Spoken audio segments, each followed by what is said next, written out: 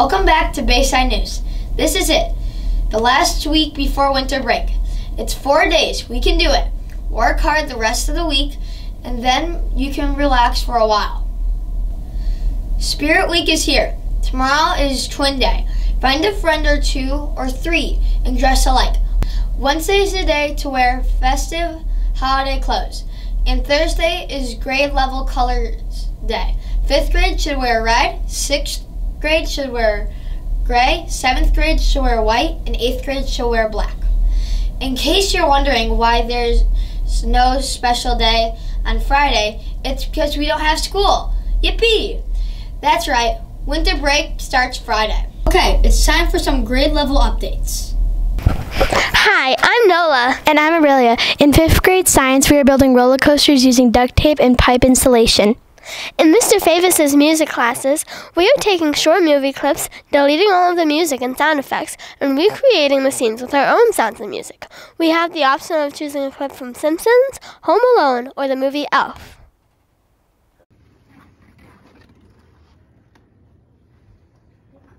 Okay, you want to explain to us why this works? Yeah. Okay.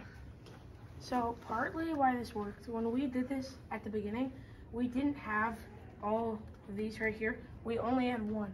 So basically, it would just fall off straight away. But because we added these, um, it made it so we would it would so when it goes down at the beginning, it would straight up cut the marble. It would go down this. It would go through this. It would just fall down here. But because of this, it hits off this and then it goes down in through the tunnel. And the reason we added the tunnel is because um, without this, this makes it tighter, so it can, it can't go as far.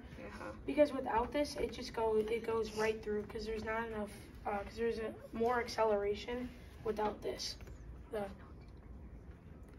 Okay, I'm Molly. And I'm Mia. And in sixth grade ELA, we will be completing our personal narratives and we'll share them with one another this week.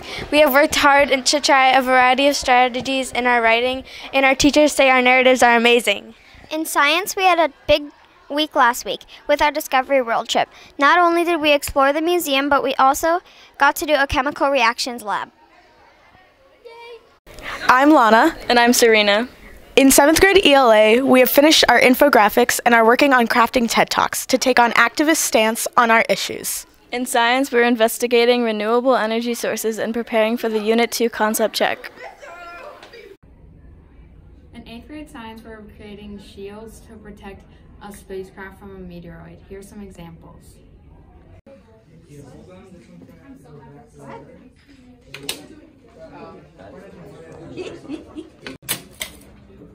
That time it broke a little bit of the wax paper, but then it still didn't pierce. We designed ours to to receive the uh, the screwdriver over a longer period of time, so that it would slow down. Like when the screwdriver came down, this was this was up straight. It would catch it kind, it would sort of catch it, while these popsicle sticks would fold in, so that if they collided, they wouldn't it wouldn't go past a certain point, or that it would go it would pierce through here but it'd still be able to catch it by the time it got down. And we had little pieces of paper as like kind of a baseline of what we want our line of protection or the closest protection to the to the actual ship to be. Okay, and what happened the first time you did the test? It, it didn't pierce at all. It didn't. It didn't pierce the foil, and it just kind of like caught it and then bounced off. But the second time we did it, it test two it, it pierced. It pierced through and put a little bit of hole. Okay, well, do you think you have to change anything for your design? Um, maybe add like a little bit of foam on the base or something, just just in case it does break through. But this is actually on it. We anticipated that it would. We, we thought the we popsicle thought sticks we would thought break. the popsicle sticks would come together or they'd snap, or they just or they fall to the side or something. So did it work better than you thought? Yes, Yeah. very much. Just so you know, we won't be recording an episode of Bayside News this week. That means there won't be a new episode the first week back of school in January. You'll be able to see the, our next episode on January 9th. Do you have a favorite holiday food? Here's Elliot asking that very question during passing time.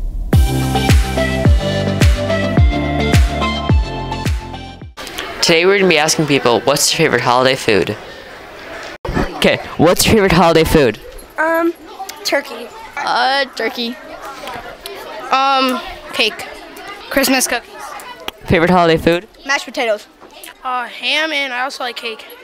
Homemade pizza.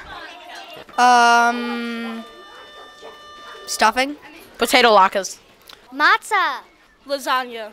What is your favorite holiday food? Ham. Do you guys know what a traveling trophy is? Well, it's a trophy that's passed from winner to winner as time goes on. Our Bayside PBIS has a traveling trophy, the donut. On Thursday at the assembly, the donut is going to be passed to the advisor with the most donuts in their box. Currently, Miss McGrath's homeroom is in the lead with four donuts. There will be a lot of spirit opportunities in the future for your homeroom to earn donuts. Maybe your homeroom will win the traveling trophy. Here's Mrs. McGrath with information about an upcoming PBIS project. Good morning, Bayside Middle School. So I am here today to just share with you another opportunity for your advisor group to earn some donuts for the bulletin board, okay? Um, this is an activity that your homeroom, your advisor group can begin anytime from now um, until the due date. Um, you wanna finish it by the Friday we come back from winter break. So I think the date is, let's see, January 6th okay? So what we're going to be doing is making gratitude mugs, and here is my example, okay? In your homeroom, you are going to get um, like a blank template of a mug, and then you're gonna get some marshmallows. Your job is to think of things that you are thankful for in your life, okay? And you are going to put pictures of those things or write them in words on the marshmallows. And then you are going to color and cut out your mug um, and glue your marshmallows all in there. And ultimately you're gonna come out with something like this, all right?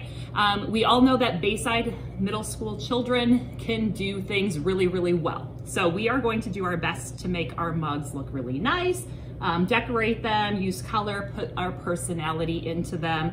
Um, I chose to kind of map mine on construction paper so that I could hold my marshmallows in there really well, okay? Um, so how does this integrate into PBIS, okay? If your advisor group has at least 50% participation, so half of the kids in your advisor group give a completed mug to the teacher um, you guys are going to get one donut for the board, okay? If 100% of your advisor group does a mug, now you get two donuts for the board, okay? That includes the teachers. We want teachers to do mugs too because there's lots of things that us um, as teachers, we have um, gratitude and are thankful for as well, okay? Um, once we have all of the advisor groups collected, these are gonna be displayed throughout the building, so that's another reason we want them to look nice. Um, but one last sort of reward um, to make this even more fun is that we will do a drawing for hot cocoa for advisor groups, okay? So if you have 100% participation, your homeroom name will go into a bucket and we'll have a drawing and we will bring you guys all um, a nice cup of hot cocoa on a cold January morning, okay? So let's go Bayside, let's get our gratitude mugs done. So happy, thanks guys. Netflix or Disney Plus, Summerfest or State Fair? We have some good questions this week on this or that. Welcome back to This or That. I'm here with Annika. Are you ready? Yes. Okay, are you an early bird or a night owl? A night owl. Okay. Salsa or guacamole? Guac. Netflix or Disney Plus? Netflix. Beach or mountains? Mountains. Summerfest or State Fair? Summerfest. Dogs or cats? Dogs. Good choice. I'm here with Jack. Are you ready? Yeah. Early bird or night owl? Night owl. Salsa or guacamole? Salsa. Netflix or Disney Plus? Netflix. Beach or mountain? Mountain. Summerfest or State Fair? State Fair. Dogs or cats? Dogs. I'm here with Miss McGrath. Are you ready? I'm ready. Early bird or night owl? Mm, early bird. Salsa or guacamole? Guac. Love guacamole. Netflix or Disney Plus? Mm. Right now, Hulu, but probably Netflix. Okay. Beach or mountains? Beach. Summerfest or State Fair? I really don't like both. They're so dirty. Um, Summerfest main show only. Okay. Dogs or cats? Dogs. Thank you. Hey Bayside, we need your input about what you ask. Here's Lucia with the details. You already know that we are the Bayside Bulls, right? But did you know that our bull mascot doesn't even have a name? It's time to change that, and we need your help. The list of possible names has been narrowed down to four, and later this week, you're going to vote for your favorite at lunch. The four possible names are Archie, Reggie, Zeus, and Toro. Okay, Bayside, it's up to you to name our mascot. The winning name will be shared at the pep assembly on Thursday. And finally, here's the latest Bayside food review.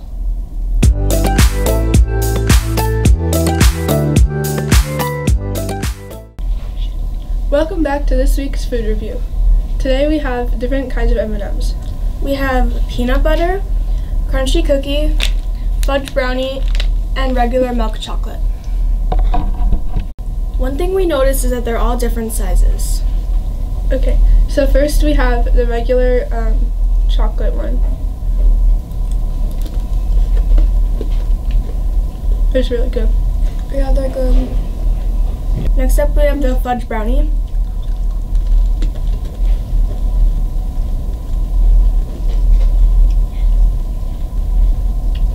I can't really taste the difference from the milk chocolate one. There's like a slight difference. Oh, the milk chocolate. It's more like it tastes. This one tastes like a brownie. I am getting the hint right now. Yeah. It's like starting to taste more like a brownie. It tastes more like a brownie. At the end? Mm-hmm. And then we The have crunchy cookie. Yeah. Um, this one's pretty good, and it was the smallest of all of them. I thought they'd be a little bit larger, but yeah. Um, they're really good. They yeah, they just taste regular. Or are they- yeah, they're, much they're much crunchier. Um, and next we have um the peanut butter. This is actually really good. As you bite into it, like you can actually, it's really. you can creamy. taste it pretty much instantly. I like it. It's better than the regular peanut M&Ms. So for my ranking, the peanut butter or, or is in last place as fourth. The regular M&Ms are in third place. These crunchy cookie M&Ms are in second place. And these, I love these the most. These um, fudge brownie M&Ms. Um, I have a different opinion. I think that the peanut butter, no, I think that the fudge are the best, and then the peanut butter, and then the regular, and then the cookie. That's it for Bayside Food Review. Thanks for watching. That's it for Bayside News. Hope you enjoy it. Have a great week and winter break, Bayside.